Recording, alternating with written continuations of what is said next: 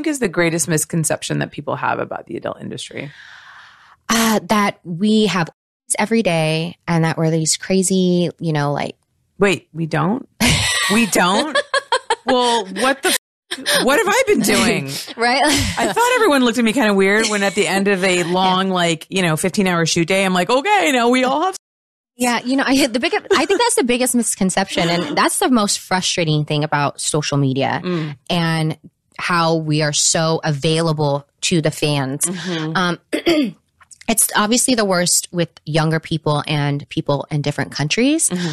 but they feel because we do what we do that we're almost like we're not human, Mm-hmm. and that they can speak to us any way that they choose, and that they can tell us daily how they would like to us or Mm-hmm. this or that.